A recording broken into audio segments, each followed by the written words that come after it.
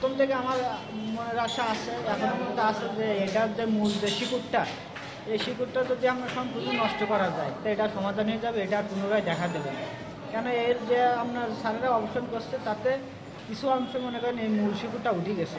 সেইখানে কিন্তু আর পুনরায় দেখা যাচ্ছে না। হয়তো তারা যে যে কথা বলুক না কেন আমার সেটা মানে চলতে হতো। আমি পেশেন্ট আমি সুস্থ হতে পারি না এখন আবার আসছি তাদের কাছে হয়তো হয়তো ভুল হয়েছে। তারা যে মন্দ বলুক আর ভালো বলুক সেটা আমার মেনে নিয়ে এখানে থাকা থাকা উচিত ছিল।